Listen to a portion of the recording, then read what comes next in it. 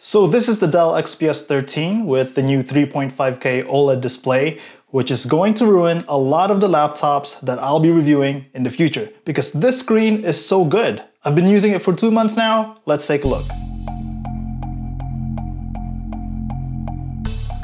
The star of the show is the display, but we'll get to that in a bit. Let's talk about the design first.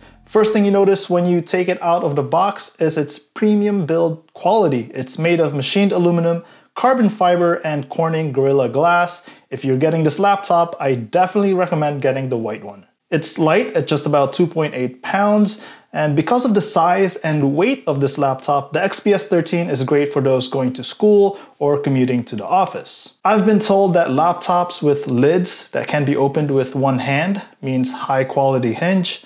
Let's try on the XPS 13.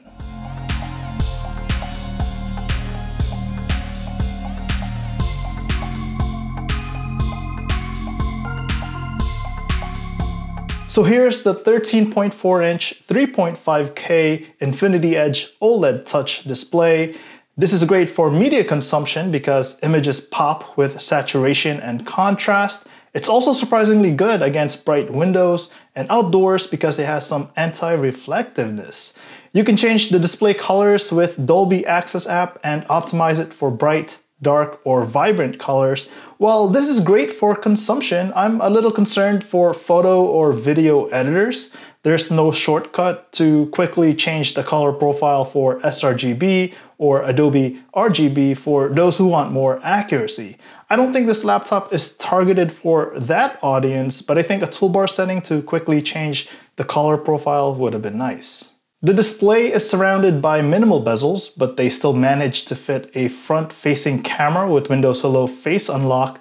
Camera is 720p and uh, a 1080p would have been better, but it's good enough for video calls. The left side of the XPS 13 has a Thunderbolt 4 port and a micro SD slot. I don't have or use a micro SD card, so not a fan of that. Would have preferred a full SD card reader or maybe another Thunderbolt 4 or USB-C port instead. On the right side, there's the audio jack and another Thunderbolt 4 port. You use one of these Thunderbolt 4 ports for the power adapter. For a tiny laptop, I thought there would be major drawbacks with the keyboard, but I was wrong. The key size is normal and I don't feel cramped when typing.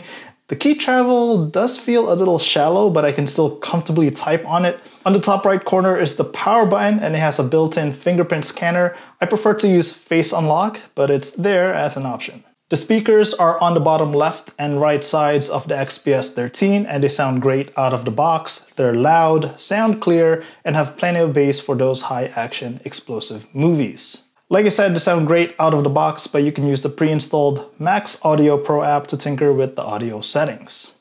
The XPS 13 came with Windows 10 Home and there were a bunch of pre-installed apps. One of the first things I did was uninstall McAfee antivirus since I'm more than happy with the built-in Windows 10 security. I would also sometimes get pop-ups for Dropbox, which I wasn't happy about. You can uninstall that as well. There's a lot of Dell apps here that can get overwhelming, but most important for me is the Dell Update app, which checks for firmware updates. I think Dell also knows that they have a lot of pre-installed apps because they have this one app that brings them all together. It's called My Dell, which is pretty much a one-stop shop for everything related to your machine. It links out to various apps depending on your needs, whether it's display settings, audio settings, firmware updates, and more.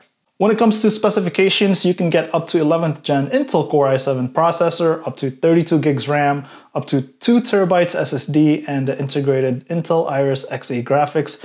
Price starts from about $900 and can go much higher depending on the specifications you choose. This laptop as configured costs about $1,600. Dell usually has coupons and sales, so keep checking. I'll include a link in the video description.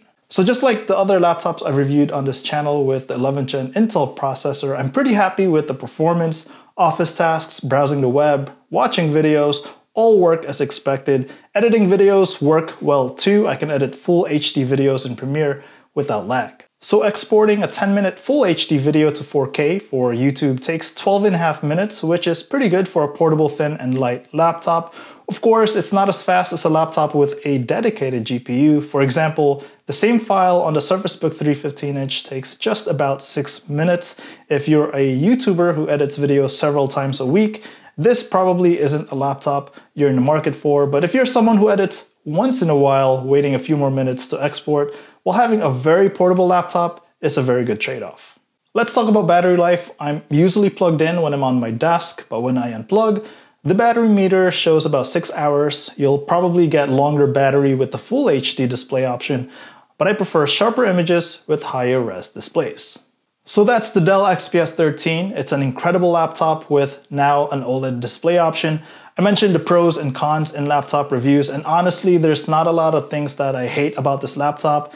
The design, size, and weight of this 13-inch laptop combined with solid performance and now with this OLED display makes this very easy to recommend. Last week I received another laptop to review. It has a 1080p display and it's not OLED and right away I wasn't excited to review it because the display on this XPS 13 is just so good.